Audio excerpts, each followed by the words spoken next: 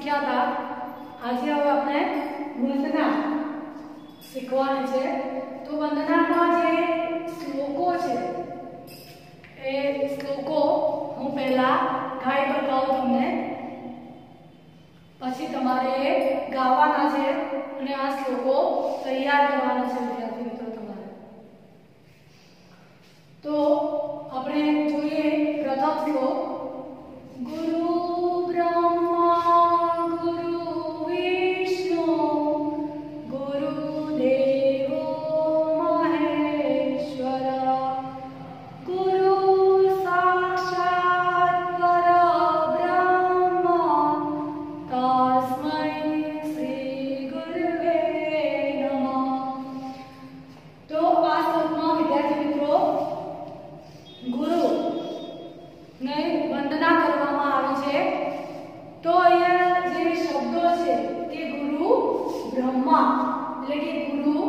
બ્રહ્મા છે, ગુરુ વિષ્ણુ.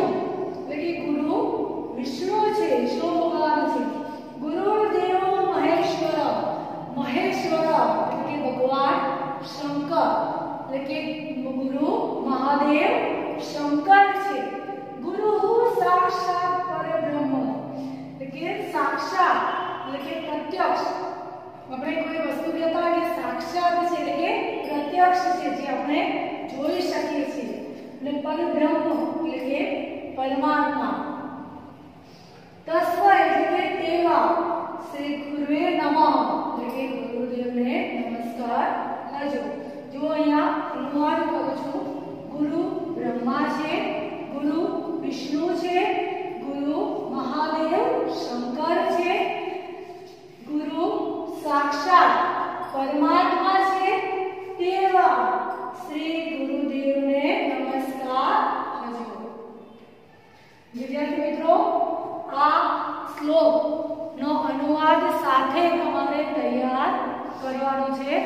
હવે બીજો શ્લોક આપણે જોઈએ વિદ્યાર્થી મિત્રો. વક્રતુંડ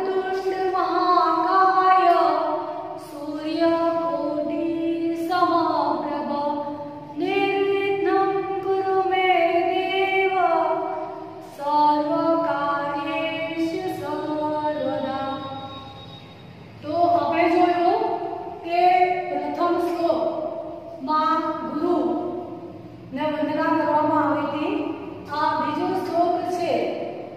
એટલે કે વક્રતુલ. એટલે બીજા શ્લોકમાં ગણપતિ દાદા. વાકી સૂંઢવાળા એવા ગણપતિ દાદાને વંદના કરવામાં આવે છે. આપણે કોઈ પણ શુભ કાર્ય હોય તો સૌપ્રથમ વિદ્યાર્થી મિત્રો, આપણે ગણપતિ દાદાને પૂજીએ છીએ તો એવા ગણપતિ દાદાને વંદના કરીએ છીએ આપણે એટલે જ અહીંયા શ્લોક છે વક્રતુંડ વક્રતુંડ એટલે કે વાંકી સૂંઢવાળા મહાકાય એટલે કે મહાન મોટા શરીરવાળા. તે ગણપતિ દાદાને શરીર મોટા છે.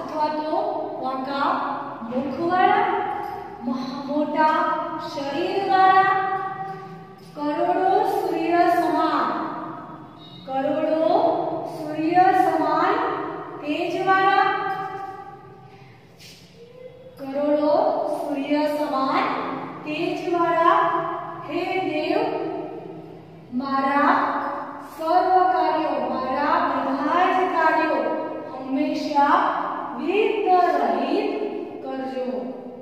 આપણે ગણપતિ દાદાને વંદના કરીએ છીએ કે ગણપતિ દાદાની સૌપ્રથમ પૂજા શા માટે કરીએ છીએ કે એ વિઘ્નહર્તા દેવ કહેવાય છે કે આપણા તમામ વિઘ્નો એ હરી લે છે. એટલા માટે આપણે ગણપતિ દાદાને કોઈ પણ શુભ કાર્યમાં ગણપતિ દાદાને આપણે વંદન કરીએ છીએ. એટલે જુઓ પરેશ અનુવાદ કરાયો કે હે માથી સૂંઢવાળા મોટા શરીરવાળા કરોડો સૂર્ય સમાન તેજવાળા હે દેવ, મારા બધા જ કાર્યો હંમેશા વિઘ્ન રહિત કરજો. અથવા બીજી રીતે પણ કહેવાય કે મારા બધા હું બધા જ કાર્યોમાં મને વિઘ્ન રહિત કરજો. સમજાણ પડી ગઈ મિત્રો? એ જ પ્રમાણે આ ત્રીજો શ્લોક છે, નમસ્તે શારદે દેવી, વીણા પુસ્તક ધારિણી વિદ્યારંભમ કરિષ્યામિ પ્રસન્ના ભવ સર્વદા. આપણે અગાઉના શ્લોકો જોયા કે અહીંયા ગુરુને વંદન કરવામાં આવ્યા છે અહીંયા ગણપતિ દાદાને વંદન કરવામાં આવ્યા છે એ જ રીતે આ શ્લોકમાં આપણે ક- શારદે દેવી શારદા એટલે કે માં સરસ્વતી. સરસ્વતી માતાને વંદન કરવામાં આવે છે. વિદ્યાર્થી મિત્રો, તમારે તો આ સરસ્વતી માતા અને સવારે ઉઠતા જ સરસ્વતી માતાને વંદન કરવા જોઈએ કે જેથી કરીને તમને હંમેશા એમાં મદદરૂપ થાય. કે નમસ્તે શારદે જેવી વીણા પુસ્તક ધારિણી શારદા એટલે સરસ્વતી વીણા પુસ્તક ધારણી એટલે કે વીણા અને પુસ્તક ધારણ કરનાર એ સરસ્વતી માતાના હાથમાં શું હોય છે એક હાથમાં વીણા છે અને પુસ્તક હોય છે એટલે કે વીણા અને પુસ્તક ધારણ કરનાર વિદ્યા આરંભમ એટલે કે વિદ્યાની શરૂઆત આરંભ શરૂઆત કરિષ્યામી એટલે કે કરીશ પ્ર- અને પ્રસન્ના ભવ સર્વદા ભવ પ્રસન્ન એટલે કે ખુશ, પ્રસન્ન, ભવ, એટલે કે થાવ, સર્વદા, એટલે કે હંમેશા. હવે જુઓ, આનો અનુવાદ કરું છું. એટલે કે હે સરસ્વતી માતા વીણા અને પુસ્તક ધારણ કરનાર તને નમસ્કાર કરજો. હું વિદ્યાની શરૂઆત કરીશ. મારા પર હંમેશા પ્રસન્ન થાવ સમજો પડી ગઈ મિત્રો કે હે વીણા વીણા હે સરસ્વતી માતા વીણા અને પુસ્તક ધારણ કરનાર તને નમસ્કાર હો હું વિદ્યાની શરૂઆત કરીશ. તમે હંમેશા પ્રસન્ન થાવ વિદ્યાર્થી મિત્રો, આ બધા જ શ્લોક તમારે તૈયાર કરવાના છે. શ્લોકને લખી અને તૈયાર કરવાના, જેથી કરીને